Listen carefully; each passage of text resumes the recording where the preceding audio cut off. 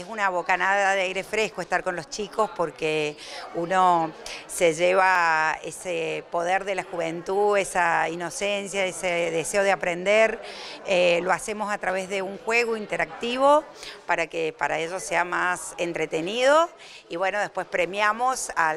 quien, lo hay, eh, quien contestó mejor las preguntas y en menos tiempo. Así que bueno, eso los lleva a que el objetivo se cumpla en que se van de esta charla con algunos conceptos básicos y algunos tips a tener en cuenta a la hora de tomar decisiones.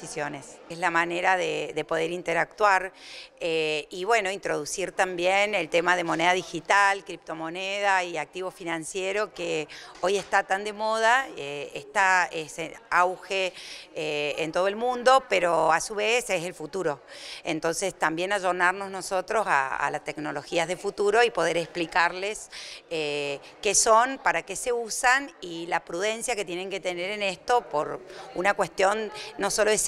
sino también del tema de estafas. A través de la Secretaría de Juventudes estamos armando, también junto con el Ministerio de Educación, trabajando en forma conjunta, eh, estamos armando eh, pequeñas charlas para todos los chicos que, deseen eh, y que puedan, bueno, participar de, este juego que para nosotros es muy importante porque les, les queda este concepto que queremos dejarle. O sea que no va a ser la única charla, digamos, se vienen más. No, por supuesto. Eh, parte de la política de la Secretaría de Finanzas es la educación financiera, es un eje muy importante y a todo nivel, no solo al nivel de los jóvenes, sino también de aquellas mamás, mujeres solas que, que bueno, son sostén de familia y que también toman eh, este tipo de decisiones, como también para cualquiera que, que desee conocer estas nuevas herramientas tecnológicas que hoy tenemos a disposición.